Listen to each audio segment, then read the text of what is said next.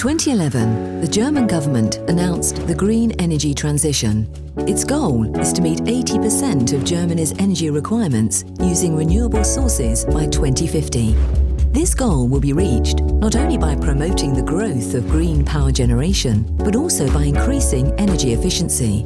KfW is Germany's largest bank, operating in the climate and environmental sector, and the biggest financier of the energy turnaround. KfW invests 37% of its promotional business volume in environmental and climate protection around the world. In Asia, KfW supports projects that help meet the international climate targets. The promotion of renewable energies in India goes back almost three decades. Wind power is the most developed source of regenerative power. Today, the country is on track to become the world's largest market for renewable energies. The aim is to produce 175 gigawatts of green electricity by 2022. Solar power is currently the fastest growing renewable energy sector in India. Financed by KfW on behalf of the German government, the Baramati solar power plant was named Solar Project of the Year in 2015.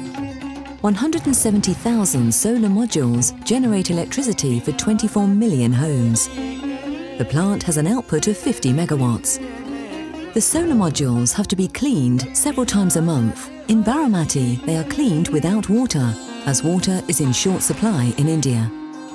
200 kilometers away, in the village of Buchkewadi, there is another project with great environmental impact, financed under Indo-German financial cooperation and aiming at protecting natural resources.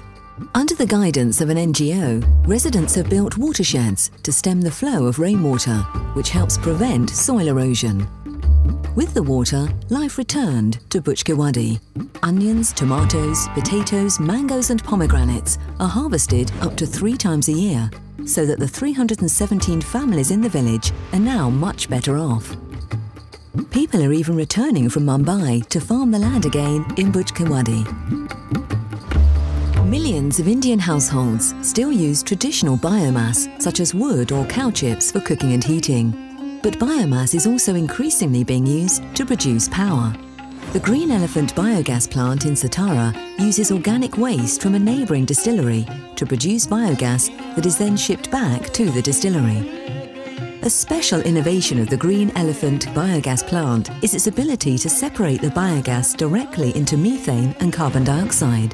The methane is bottled and delivered by truck to local manufacturers. Green Elephant is a German company based in Munich. The biogas plant is promoted by the Indian development agency IREDA, which is funded by KfW. To accommodate the power needs of India's fast-growing economy while still contributing to climate protection, India is exploring new ways to increase energy efficiency on the demand side, including the housing sector. KfW has decades of experience in financing home builders in Germany, where KfW Efficiency House is now a firmly established label. The German model was adapted to the specific conditions in India. Special insulating bricks were used in the Lotus Boulevard housing complex in New Delhi. The residents not only benefit from cooler air in summer and more warmth in winter, but also more light. KfW's subsidiary DEG supports green corporate technology in Vietnam. More and more companies are focusing on conserving resources. These include the tannery Saigon Tantech Limited, which produces high-quality leather for the shoe and automotive industries in China and Vietnam. The innovative technologies financed by DEG significantly reduce the consumption of energy and water. On behalf of the German federal government, KfW finances projects that serve as models. This is also true in China, Asia's rising economic power, where climate protection is the priority. The Beijing metropolitan area generates 10% of China's GDP and is a base for heavy industry. The level of private vehicle ownership will match that of industrialized countries by 2020. In order to improve air quality in Beijing, KfW and the Asian Development Bank, ADB, are jointly financing a complex undertaking comprising several large-scale projects. These include the expansion of renewable energies and public transport, and the reduction of capacities in heavy industry and coal consumption. KfW's project in Huainan will also improve air quality and living standards. The City of Huainan plans to establish a new intelligent transportation system, which is designed to improve the operational efficiency of city traffic and public transport.